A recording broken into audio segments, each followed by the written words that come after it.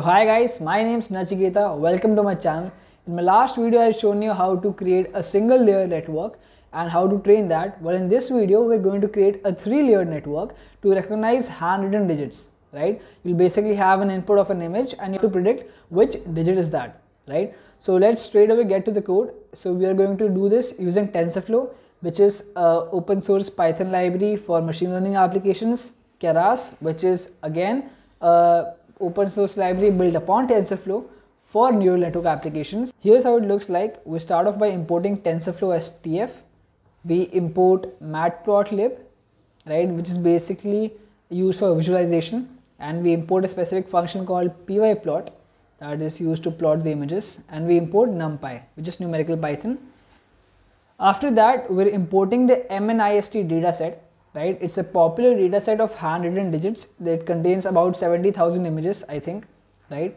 With the labeled outputs as well. So we import that using tf.keras.datasets.mnist and load that into a variable called objects. Next we're dividing the object into two sections right? The data set into two sections the training section and the testing section. We train a neural network using the training section.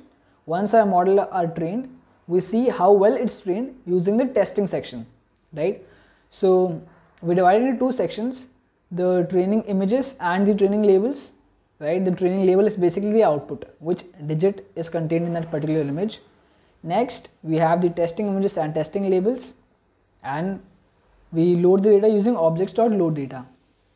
After that, we're using a for loop to plot nine images to see how it looks like, right? So you just have to press shift plus enter to run in Python in the Google Colab notebook. So if I just press shift plus enter, so this is how the dates look like, alright. So we have to, these, these are the inputs and using this we have to predict what digit is contained in that. So now the first step is to understand the data. Alright, so I'm going to print out the shape of the data which you need to know to build the neural network and how the image actually look like in the matrix form.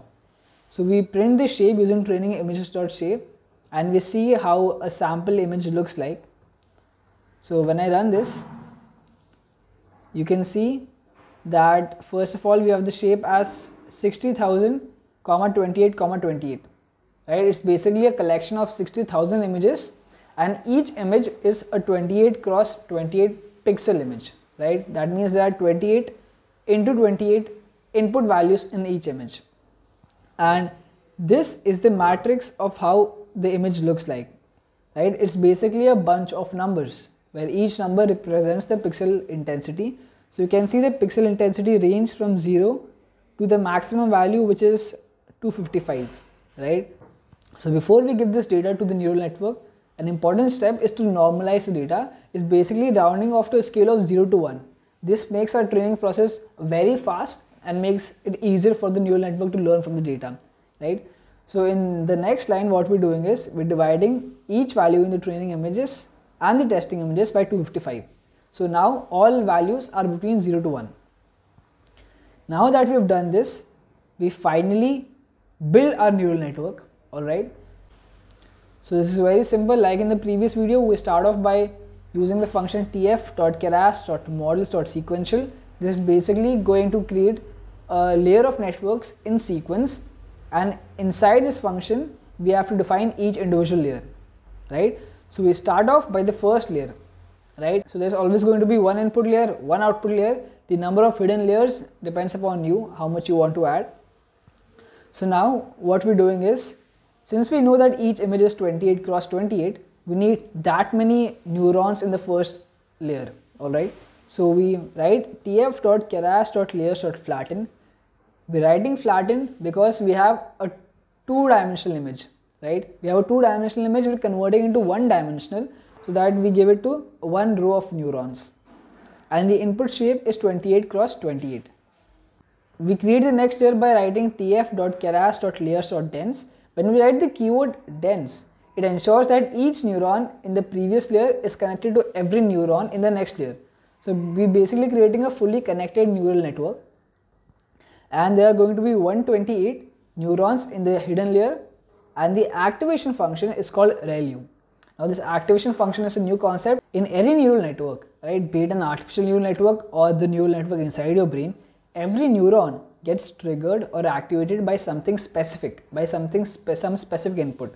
For example, if a person is scared of spiders, there's something visual, something about the visual perception of the spider that triggers the particular neurons in their head, which sends a sensation of fear in the person. Right? So, by deciding the activation function, we're basically deciding what is going to activate my neuron. Right?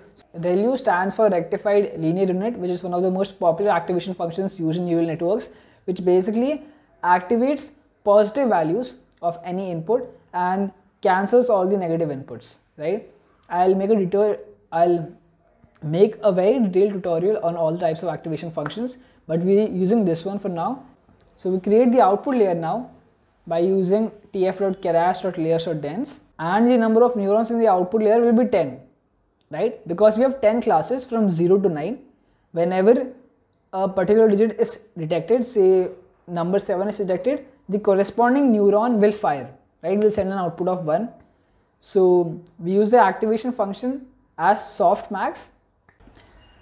So what this softmax activation function does is since you have 10 output classes for each class, the probability will be sent as the output between 0 to 1, right? So all the neurons will output the probability and one with the maximum probability will be picked, right? For example, if the output is 7 for a particular input image, neuron number 7 will output the maximum probability and that will be selected. So that is how this works.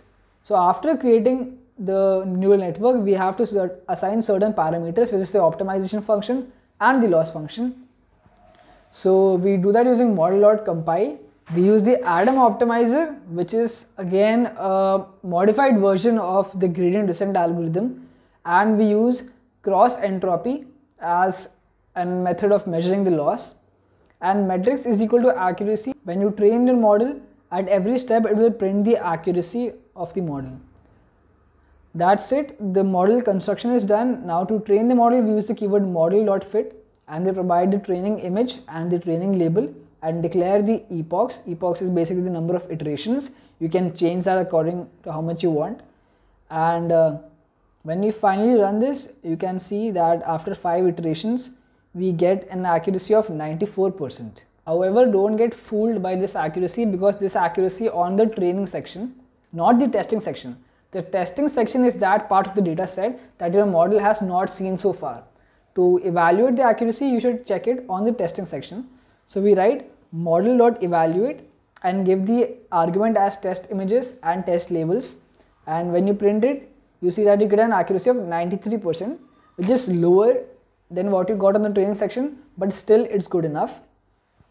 So another method to check the accuracy is to see how it's performing on the test section manually, right? So you simply take an element from the test section. I pick the first element from the test section and plot it, right? So when you plot it, you get this image, which means the first element of the test section is the number 7.